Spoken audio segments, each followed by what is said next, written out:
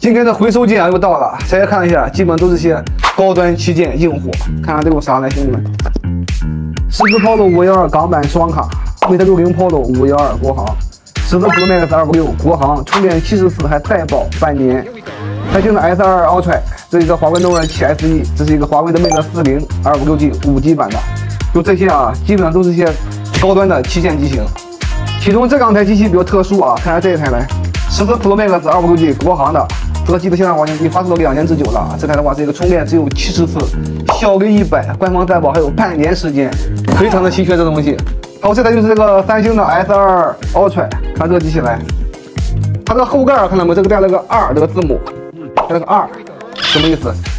像这种正常机的话，它是没有这个字母，这个话它带了一个二，这话就是官方机，就是官方的翻新机，它会带一个二的标识，代表是官方机的意思。这台机的话是一个十二加二五六 G 的国行版官方机，成色的话算是一个九五星吧。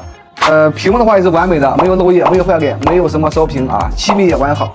他们就这个话也是官方担保到今年的五月份的啊，像这是 S 二二 Ultra，现在还有代保的，非常的少见。像这种官方机的话和正常机的话，它使用啊是一样，没有任何的区别的。但是话价格都比较便宜。这台呢，咱们就直接放个福利吧，三二九九天线，KF 蓝点。